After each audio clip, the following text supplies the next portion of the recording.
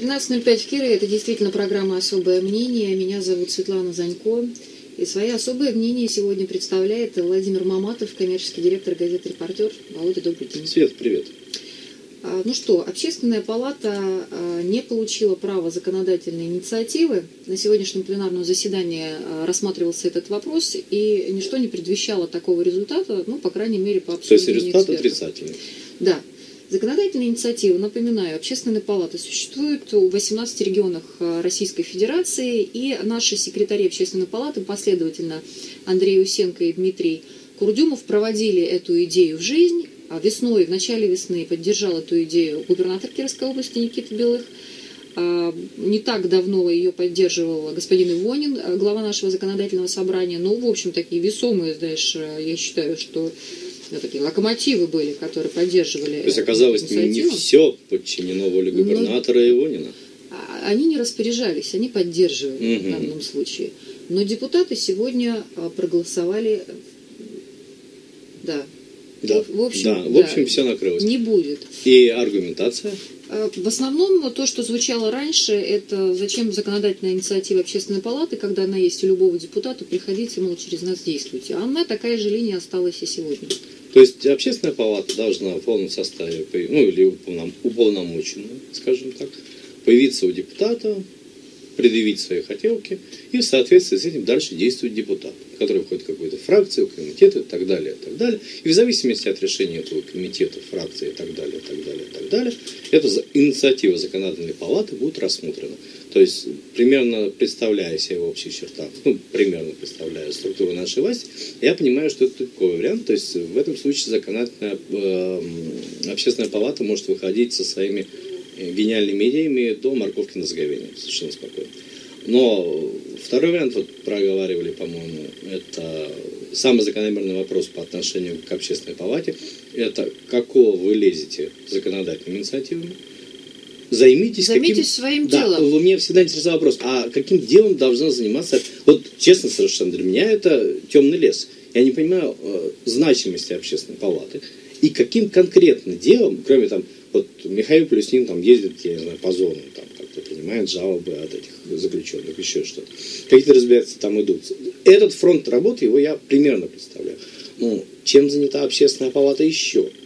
Вот как-то я рассуждаю с точки зрения обычного обывателя. То есть абсолютно. Ну, я тебе расскажу за эфиром, чем занимается общественная Мгм. палата. Как ты знаешь, я в этом году вошла в состав общественной Я палаты именно с этой да. целью, Володя, Всё-таки- чтобы понять, что происходит. А, Происходит, но это э, не- нет времени сейчас об этом говорить, но тем не менее вернемся к законодательной иници- к возможности иметь э, законодательную инициативу общественной палаты. Как ты считаешь, вообще должны были дать э, возможность такой общественной палате? Получается, что общественная палата просто стала бы еще одним депутатом, но со своим весом и именем. И без всяких посредников а, пыталась бы проводить свои инициативы законодательные. ну, на первый взгляд это выглядит разумно, потому что наличие эдакого независимого, неангажированного, ни к чему не привязанного депутата, который может что-то сделать, это интересно. То есть неожиданная фигура на шахматной доске, это всегда интересно. А с другой стороны, имеет ли общественная палата для этого какой-то потенциал? Я не понимаю, что это такое. То есть какой потенциал? Ты считаешь, что вот то, что общественная палата не представила свой потенциал, скорее всего, депутатов и э, не подвинуло на то, что они... Ну да, но зачем, зачем добро. давать добро людям, которые не показывают, что они могут что-то сделать? Я не понимаю. этого. Вот отношение к общественной палате Да, ты сейчас да, озвучишь, конечно. то, которое складывается у тебя и, возможно, сложилось у некоторых депутатов. Да? Я думаю, что подавляющему большинству кировчан, спросив, в чем функция общественной палаты, как ваша жизнь зависит от нее, будете ли вы поддерживать или разделять, они даже не поймут этого вопроса. И вопрос о законодательной инициативе общественной палаты, он выглядит вот примерно, какое топливо следует использовать при подготовке полета на Марс. Все. Это очень информативные ответы будут. Правильно я тебя понимаю, что, скорее всего, депутаты ОЗС понятия не имеют, чем занимается общественная палата? Да, абсолютно уверен в этом. Как и большинство как, граждан, как большинство граждан. То есть общественная палата это какой-то фантастический орган, неизвестно зачем выращенный, неизвестно что делающий. Вот я этого не знаю. Хорошо. Тогда еще об общественной палате. Как ты, э, наверное, все-таки следил и слышал, в этом году последовательно, чуть не каждую неделю, в- особенно в мае, объявляет о том, что пополняется фонд э, на ремонт дорог в Кировской области. Не далее, чем вчера, Никита Юрьевич Белых, губернатор области, заявил, что 914 миллионов рублей получит Кировская область на ремонт дорог. Ну, он съездил в Москву, выделились деньги от акцизов, выделились деньги из федерального бюджета, из регионального бюджета. Я читал прекрасный репортаж коммерсанте Колесникова про то, как проходила встреча у Путина с участием Никиты Юрьевича, где основная тема была, естественно, насколько похудел Никита Юрьевич. И он о том, это как... в кулуарах все-таки. Да, было. естественно. Но можно только поздравить, наконец-то мы видим такие очень прекрасные завязки. То есть Никита Юрьевич похудел на 40... Похудевший человек да, большего добивается? Да, добивается большего, да. да. Ну, это хорошо, почему Я нет? считаю, прекрасно. Здоровый образ жизни. Потому что 941 миллион на дороге, это в любом случае прекрасно. 914. 914. Город э, общий, в общей сумме получит в этом году все-таки 350 миллионов. Это несравнимо больше, чем изначальная сумма, которая была на дороге. Одновременно Дмитрий не Курдюмов... Срав... Несравнимо это сколько? Я, насколько помню, речь шла о 70-80 миллионах изначально. То есть совсем маленькой суммы, которая раза больше. хватило бы больше э, на заплатки. Угу. Точно не скажу тебе, но э, когда мы встречались в марте, говорили о 70-80 миллионах. Ну, в 4 раза, предположим, вот. хорошо. Одновременно Дмитрий Курдюмов, секретарь Общественной палаты Кировской области, делает свое заявление, что Общественная палата будет э, определять приоритеты в ремонте дорог, а также контролировать работу подрядчиков. Причем Никита Юрьевич их в этом поддерживает. Это все материалы вчерашнего вечера после заявлений о вот этих вливаниях э, в дороги. Естественно, дальше идут комментарии, что опять же, кто такие эти члены общественной палаты, что они будут сейчас контролировать дороги. И сам Никита Юрьевич тоже это комментирует. Он говорит, что в свое время Курдюмову рекомендовали, как лечить, когда он работал в администрации областного. А теперь он будет дорожникам рекомендовать, как делать дороги. То есть он, с одной стороны, поддерживает, с другой стороны, сомневается. Так вот, если, ну, это прекрасная, кстати, позиция, если общественная да. палата, а, в которой, между прочим, есть специалисты-строители тоже, входят в, общество, в члены общественной палаты, а, и они могут, при... и общественная палата имеет возможность привлекать экспертов, у нее есть э, это все в уставе. Если общественная палата не будет контролировать, если такие организации, как, например, «Суть времени» или Виталий Брам, нам с тобой знакомый, не будет организовывать контроль, ну тогда кто? Хороший вопрос, я не задумывался над тем, кто конкретно будет этим заниматься. В моем представлении должен существовать какой-то орган, комитет, без, без разницы с какими функциями, да, то есть, ну, в первую очередь, надзорными. Состоящий из кого? Хороший момент, ты меня ловишь, потому что я понимаю, что ты хочешь все-таки Ты сделать... же понимаешь, что в системе администрирования есть куча комитетов, рабочих да. групп и прочего, помимо работают. прокуратуры, они не которые работают. могли бы контролировать. То есть тут, скорее всего, нужен какой-то объединенный комитет по контролю за дорожным строительством, прошу прощения, то есть который бы состоял из совершенно разных людей, из разных сфер, не обязательно он целиком будет общественно-палатский, не обязательно будет депутатский, не обязательно прокуратура, не обязательно администрация города, но целом в него должны, входить люди, какая-то группа небольшая причем, которая бы смогла действительно продавить какие-то инициативы, как-то вообще безумную ситуацию с ремонтом дорог – ну, хотя бы ввести ее более-менее в приемлемое русло. Там, ни, каких, ни штурм космоса, там, ни европейское качество, это все не, это бред себе кобылы, это никому не интересно слушать.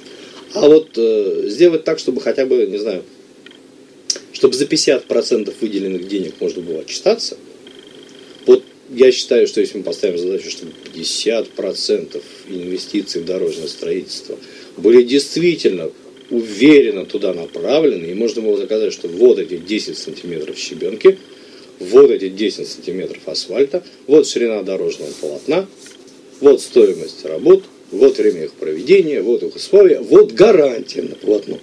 Потому что самым, пожалуй, волнующим вопросом является не столько даже постройка дороги или ремонт ее, а является ответственность тех, кто это делает. Ответственности у них, насколько я понимаю, сейчас нет никакой. То есть она как-то существует, но в каких-то местах для меня абсолютно, абсолютно ненаблюдаемо для меня. Все замечательно. То есть вот э, у этого комитета было бы две задачи. То есть, во-первых, оптимизация все-таки бюджетного расходования. И второе – это налаживание нормального, совершенного контроля повседневного, доступного для всех граждан, независимо от пола и возраста, да, то есть ты заходишь в интернет, открываешь страничку, ты смотришь, И у тебя существуют контрольные замеры, у тебя существует отчетность, там ежеквартальная, там, годовая, полугодовая. По этому участку, вот человек приходит, который ремонтировал мне эту дорогу 4 года назад и говорит, у меня гарантия на дорогу, допустим, 8 лет. Он приходит через... Ты уже замахнулся. Ну, у нас не знаю. гарантии годовые годовые. на дороге. Максимум 4 года. А в Кирове А. существуют годовые контракты с А. гарантиями годовыми. 4 Это- года это вообще потолок. Я это... 8 лет это в Беларуси, извини, друг а, дорогой. в этой, где карто... кроме картошки конечно. из этих белорусских Да, креветки, да. я понял, Ну, только ты, там. Ты как-то в другой стране живешь. Слушай, мысленно. я отстал от жизни. Но я не представляю, что годовые дороги на самом Это бред полный. То есть они хотят сказать, что... Гарантии на ремонт, Да. не на строительство дорог, на ремонт дорог. То есть она... Нет, они ее ремонтируют в течение года, после этого они могут это не трогать, да? Вот ты отремонтировал в этом году, год гарантии, следующей весной он заканчивается. Мгм, мгм. Гарантийный срок. Да. То есть судьба моя сложилась так, что мне приходится ездить по этим волшебным дорогам. Да. Ага. И я прекрасно понимаю, что ну, я бы уже применял к этим людям, которые строят дороги, какие-то формы внесудебного преследования, я не знаю, что-то делал, потому Самосуд. что ты знаешь, да. То есть доходит до такой степени э, Ну, твои внутренние, ощущения. внутренние ощущения у меня неприятные по отношению к ним, потому что я не понимаю, как на них надо как-то воздействовать, как-то упорядочить эту сферу. Больше ничего не надо. Как-то после моей фразы насчет э, гарантийного срока, мне кажется, ты даже немножечко да, я не- несколько опешил, потому что я... Давай мы в этом состоянии Давай, тебя хорошо. на полтора, на полторы минуты оставим, потом вернемся. Продолжается программа «Особое мнение». Владимир Маматов его сегодня высказывает. И мы тут в перерыве разбирались все-таки, а каков гарантийный срок на строительство и ремонт домов И э, выяснилось, что ты меня обманула, в да? Кировской области. Ну, не совсем Не так, вот, чтобы совсем. прямо я тебя обманула. Действительно, ямочный ремонт год. Вот. А гарантийный срок по, на верхний слой дорожного покрытия 4 года, на основание дорожной одежды 6 лет.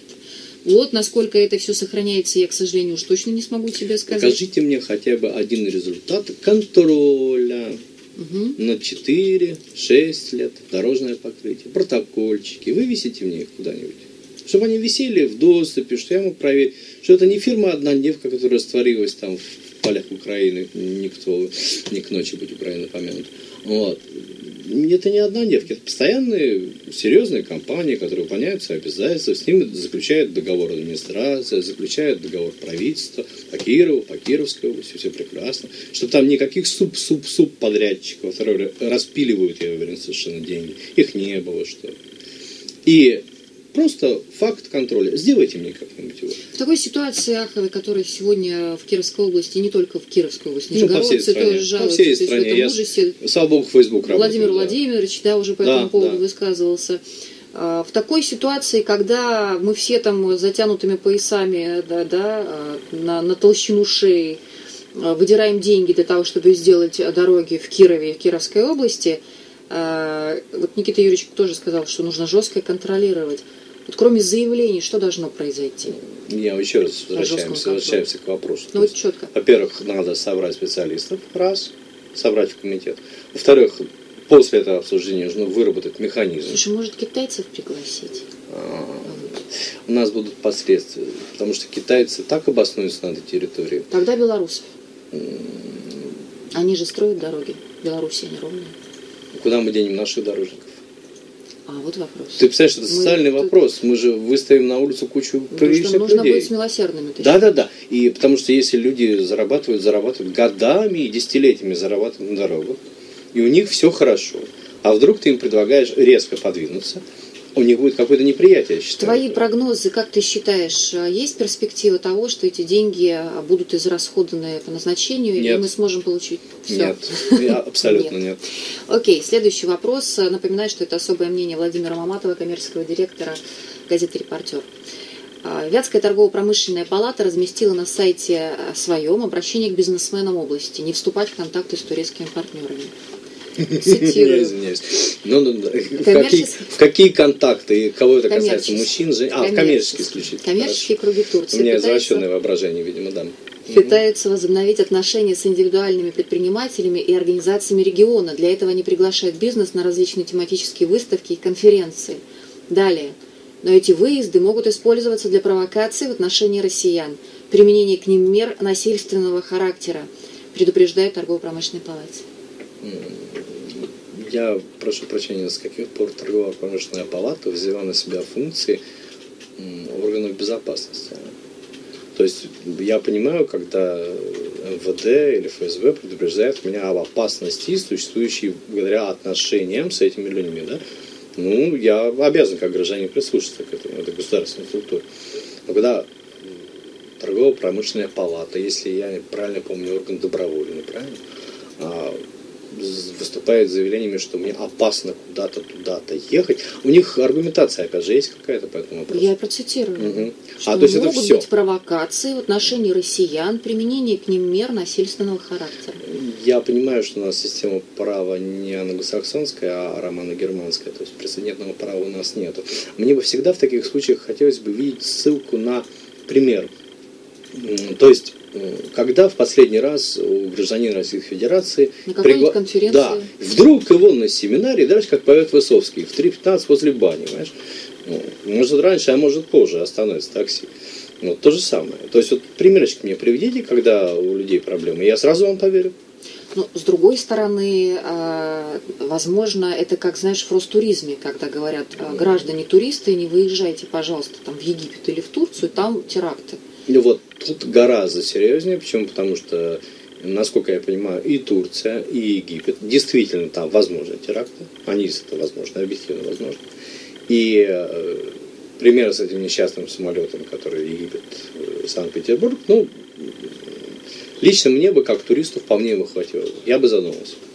И это не голословное утверждение. Может быть, просто э, торгово-промышленная палата не говорит э, напрямую, но имеет в виду, что отношение турецких э, уже бизнесменов, даже турецких граждан к российским настолько ухудшилось, Причем я настолько не... накалилось, что уже готовы что они готовы там пустить на шашлык русских граждан, захваченных на бизнес-конференции в Турции? Ну, я не знаю, как на какой-то американской границе объявление. Конкретики не хватает, да? Категорически категорически. Я рекомендую им срочно поставить часы лет на 700 вперед. Так у них получится все, дело пойдет. Особое мнение Владимира Маматова в эфире нашей радиостанции. Переходим э, к еще одной городской теме. А, Владимир Васильевич Быков, мэр города Кирова, заявлял неоднократно, однажды это было в марте, а, второй раз совсем недавно на дебатах праймерис чуть не сказал в честь праймерис Единой России, что летом в нашем городе появятся платные парковки. Первую такую парковку планируют открыть на Комсомольской 40, об этом нам вчера. Комсомольская 40 это что? Это площадь железнодорожного а, вокзала. Ну, ну, ну, да, да. А, правда, странно, вчера почему-то... В прошлый раз говорили, что парковка... Был какой-то скандал на тему того, как раз, что отменить платную парковку, ее, по-моему, отменили. Вот сейчас будет внедряться на Комсомольской 40, дальше пока не ясно. Но планы есть. Вопросы. Во-первых, в принципе, ты за или против введения платных парковок в Кирове? Не конкретного места, а вот в принципе. Да, в принципе, да, конечно. За. В связи с чем ты считаешь? В связи с чем все это резко упорядочит. Люди, когда э, человеку предлагается тратить деньги на ту, на ту вещь, которую он раньше получал на халяву, он начинает думать, а так ли нужна ему эта вещь? То есть вот мне категорически необходимо здесь проголоваться, сюда ехать, так вот ставить машину, да, или же поискать что-нибудь в полукилометре и сэкономить свои деньги, ну, грубо говоря, да. Ну, то есть будут осмотрительно относиться к тратам собственных средств. Другой вопрос, другой вопрос, очень интересный. Мне всегда все начинания кировской администрации, мало-мальски такие, связанные с изменениями ландшафта, они интересуют в плане а как вообще у нас есть общая градостроительная какая-то концепция? Ну, как-то мы предполагаем наш город ну, во что-то превратить, чему-то мы движемся. Или мы вот, как говорится, туда ветер подул, сюда ветер подул, этот человек ушел, этот человек пришел, э, власть опять поменялась. И вот мы строим так кусочками, урывками, что-то делаем, как-то не додумывая до конца, ничего не доделая. Потом мы все это оставляем и говорим, а знаете, мы на самом сделали, деле, сделали там, не знаю, открыли 10 детских садов. Открыли 24. Там, уже, а я не знаю, цифры не помню. Единая Россия. Да. В буклете числится, что все садики хочется открытые в, в области. Хочется тоже спеть что-нибудь патриотическое такое. Это про праймерис мы чуть попозже. Mm-hmm. Угу. Вот. Э, если парковки будут делаться так же, чуть не сказал, как большинство вещей, которые делаются в плане градостроительства в Кирове, э, лучше их не надо делать. А вот если они будут делаться с мозгами, их надо где-то найти, скорее всего, кому-то озаботиться поиском мозгов для такой Так, задачи. давай тогда, значит, поэтапно. Во-первых, где, на твой э, взгляд, в первую очередь должны появиться парковки? Парковки, да, У платные. тебя как потребителя же. Платные быть. парковки Да, должны появиться у торговых центров. Это самое основное. Как у ЦУМа, например. У ЦУ, совершенно правильно. Там есть. У ЦУМа, у Джимола, что у нас там еще, у Метро, там много мест, где их можно загнать. Во-вторых, они должны появиться в местах больших, большого скопления населения. То есть, грубо говоря, та же театральная площадь. Здесь парковка должна быть однозначно платная. На привокзальной площади не сомневаюсь. Всё. То есть, на самом деле, это надо садиться с картой, методично обдумывать, проверять стоимость, проверять Мгм. пассажиропоток, продумывать оплату. Это, Кроме отсутствия, задача. кроме отсутствия а, там, или там неизвестности, а, которая существует вокруг генерального плана развития города, о котором ты сказал, какие тут еще могут быть подводные камни в связи с введением платных парковок? Нет. Подводный камень может быть, как всегда, только один. Это грабли. То есть, на которые они наступят, когда они ведут какое-то количество парковок, без э, учета интересов людей, без учета, без прогнозирования, без продумывания, без всего этого.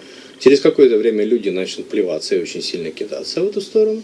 Они начнут говорить о том, что на администрацию, что ага, вот э, народ немножко против, а мы же старались для народа. И начнется вот эта погоня за собственным хвостом, когда администрация объясняет, что все-таки она что-то делает. Хотя не очень, но делать, делать, по-прежнему делать. То есть, если уж делать, так делать без всяких отступных. Ну, Ты это имеешь в виду? я имею в виду, что доведите, пожалуйста, хотя бы одно какое-то, любое, любое, джентльмены, доведите одно единственное начинание до ума.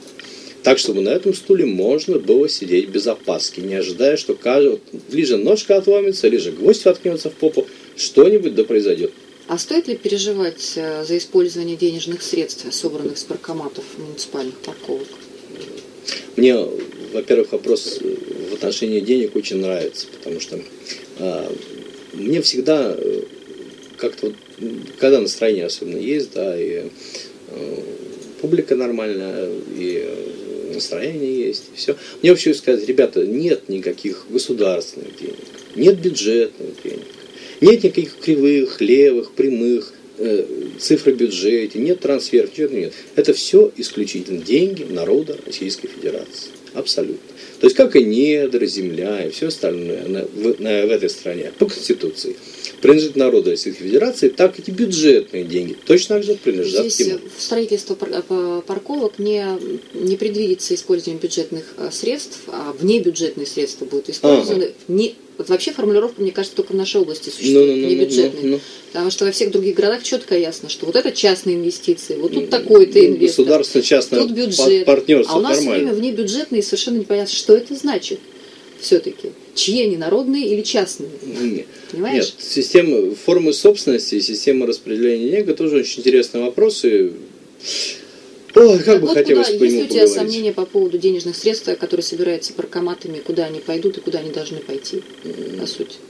Нет, все деньги, все средства, то есть принадлежащие городу, если город в этом участвует, да, должны перечисляться только и исключительно на улучшение жизни горожан. Потому что основная задача городской администрации – это улучшение качества жизни кировчан. Других задач ни в каком сне, ни в каком бреду, ни в каком тяжелом состоянии у городской администрации быть не может. Она может заниматься только этим. Прервемся на короткую рекламу. Напоминаю, это особое мнение Владимира Маматова.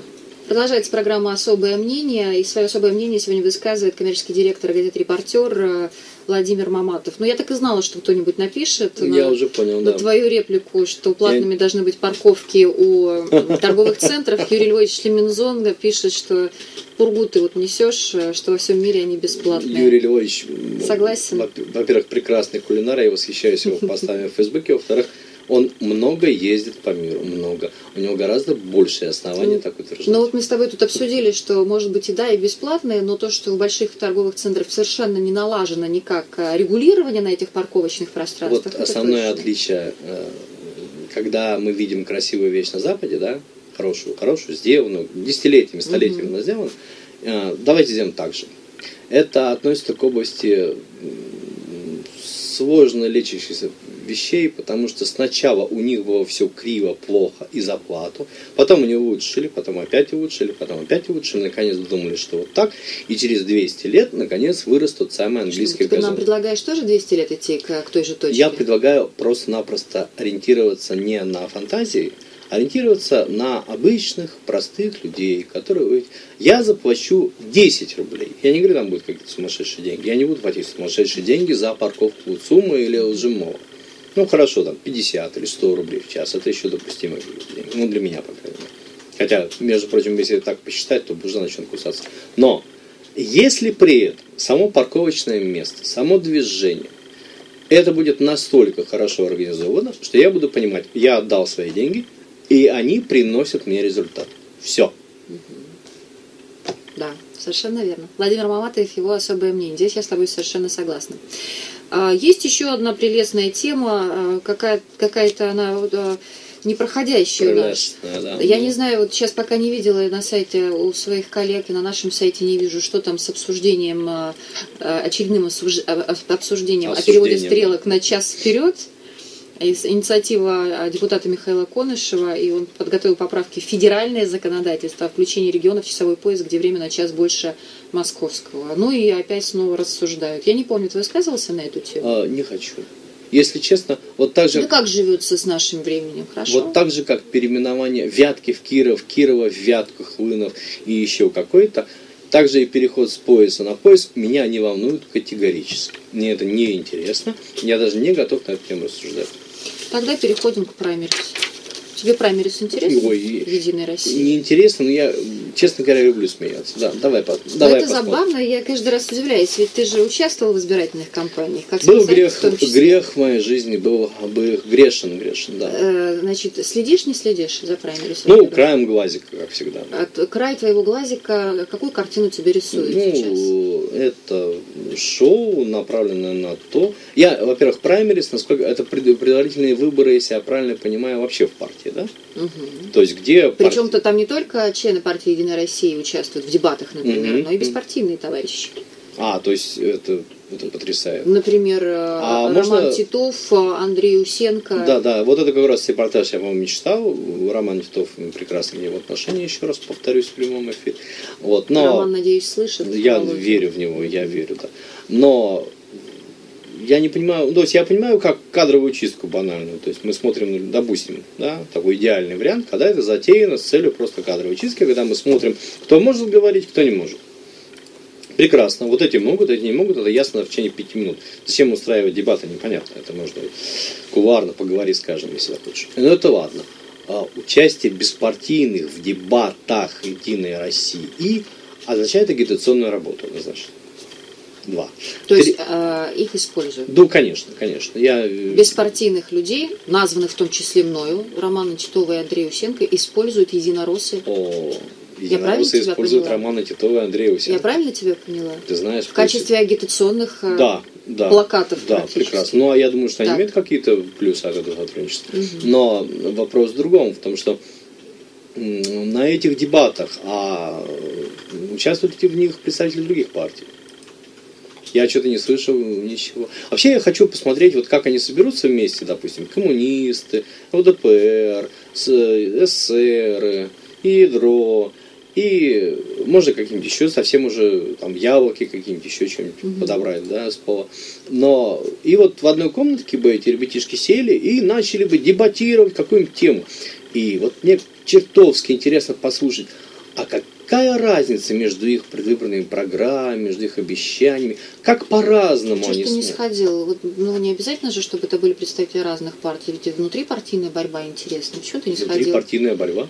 Конечно, это же замечательно. Разве не этого мы ждали?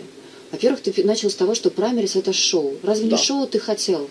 Еще зимой, когда мы говорили на эту тему. Нет. И, и- и жаловался, что Света, все ну, очень скучно. Света, ну какое может быть шоу, когда пять человек одеты в одинаково приличные А костюмы? все шесть. Ну, со шесть, хорошо. Да. Выходит к своим трибунам, я представляю это примерно так. Я не был там никогда с трансляции не видел, но представляю так. Выходят к трибунам и по очереди, спокойно, рассказывают э, заранее продуманные, одобренные. Главная тема дебатов, насколько я поняла по отчетам в СМИ, а, патриотизм. Ну, во-первых, это модно, это популярно, это входит в политическую повестку и абсолютно безопасно. То есть, если ты придерживаешься правильной такой выдержанной канвы в обсуждении Мне просто хотелось представить, как это может быть. Я патриот, а другой должен сказать в этот момент, если он... А я не патриот, а я космовалит безродный. Один должен сказать, Да, что у нас да. э, плохие дороги, а другой должен сказать, у нас хорошие. Правда? А, Анекдот в том, что ты не права, потому что противоположной точки зрения это такое строевое мышление называется еще. То есть правое, левое, коммунисты, там, не знаю, капиталисты, Мгм. буржуа, пролетарии. Мгм. Это вот строевое мышление. Правое, левое, черное, белое. Такого в жизни нет. Но если говорить о патриотизме, да, там могли бы быть подняты темы, которые касаются, а чему конкретно надо призывать? А в чем человек должен видеть, вот где человек должен находить патриотизм? Как он должен выращиваться? За счет чего? Почему? Какие механизмы? Кто является действительно патриотом Киров, Кирова и Кировской области? К слову сказать, покажите мне человека, который патриот... Вот, вот я единственное, пожалуй, человека могу назвать, э, с моей точки зрения, приносящего, да, Кирова и Кировская область, он абсолютно патриотический вклад, потому что за его существование хочется уже сразу любить это место. Это Свиных. Тот, который Виктор космонавт. Петрович, Конечно. который с успехом поддерживает одного из кандидатов сейчас Ну, баллотирующегося от партии «Единая Россия». Это уже другой вопрос. Но Так что это не связанная вещь? Какой человек баллотируется и кого поддерживает э, патриот? я серьезно предполагаю, что у Виктора Петровича, у него, насколько я помню, со строительством этого э, Космического да, да, космического центра у него гораздо больше проблем в том, чтобы завершиться с этим строительством, чтобы он- Разве Виктор Петрович Свиных строит э, космический А кто у центр? нас строит? Опять? За какие средства? Опять? Никита Юрьевич Белых? Он не только похудел, но и достраивает космический центр. Потрясающе. Ну, вот, можно только пожелать ему все и пожать руку, я не знал. Я думаю, что как бы интересы Савиных, они, в общем-то, лежат. Я не утверждаю, но я в первый раз э, слышу, ну, что нет, нет, за не будем, э, Виктора не Петровича будем Свиных копаться в наших предположениях, да.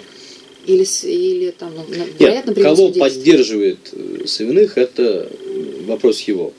Это вопрос даже... э, Но в плане, что это достойно того, что достойный человек, он выражает какую-то патриотическую нотку Кировской области, я абсолютно Ну, просто вот сейчас э, у тебя пря- прямой намек, что я считаю, что Савиных э, это патриот, соответственно, если он поддерживает такого-то депутата, соответственно, тот тоже супер патриот. Ну, он пытается передать ему какую-то часть своей патриотической ауры, да.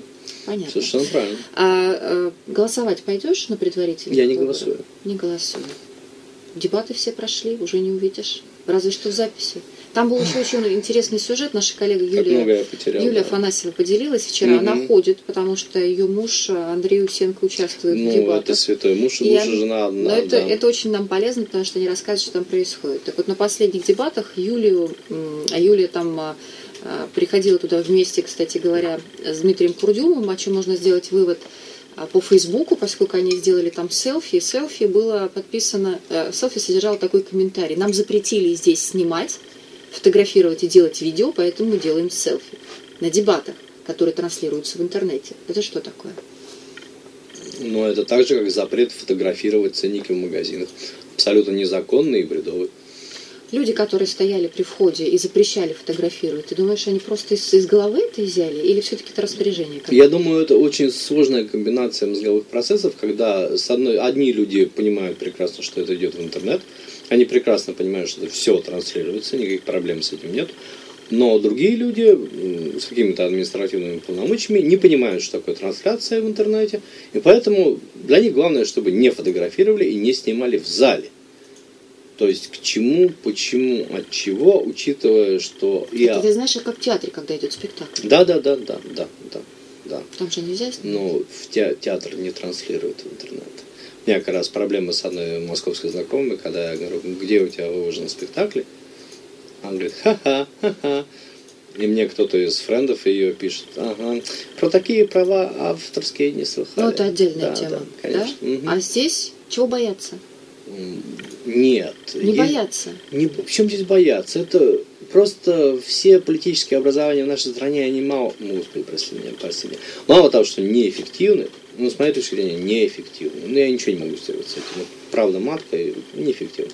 А во-вторых, они разнородны. То есть в одной и той же банке склянки под названием «Юная Россия» там варятся люди с менталитетом, там, не знаю, директоров колхоза, там, 40-х, 50-х, 60-х годов, да, и люди, которые поднялись в 90-е, люди, которые, ну, совершенно разных социальных Мгм. слоев, представления о жизни, Одна минута у нас осталась. да, и вот все эти люди, они одновременно пытаются соответствовать какому-то тренду, вот, который закладывается. Который они нащупали. Все-таки они нащупали тренд, и этот тренд запретить снимать на праймерис. Последний вопрос, последний вопрос тебе. Как ты считаешь, Владимир Васильевич Быков, который баллотируется в Госдуму, пройдет? Нет. Спасибо. Это было особое мнение Владимира Маматова, коммерческого директора газеты «Репортер». Светлана Занько. До свидания.